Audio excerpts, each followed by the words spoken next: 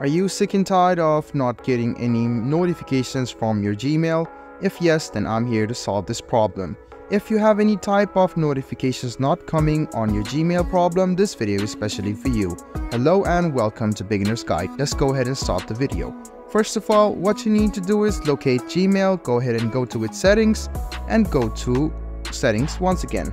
Now, you can search for storage and click on clear cache. Once you do this, what you need to do is go to notifications.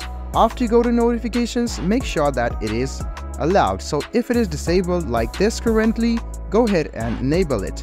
There are options like allow sound and vibration, go ahead and enable it.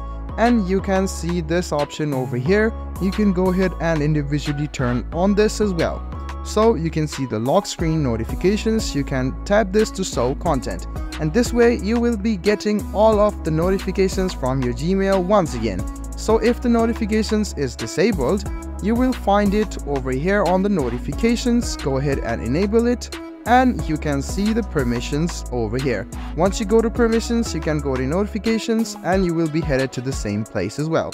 So guys, this is how you can get all of the notifications from your Gmail app on your Android. I hope this video works out for you. If you still have any kind of confusion, please do mention us on the comment section down below. Like the video, subscribe to the channel and do hit the bell button for more. Hope to see you in the next video as well. Until then, goodbye, take care and make sure you enjoy.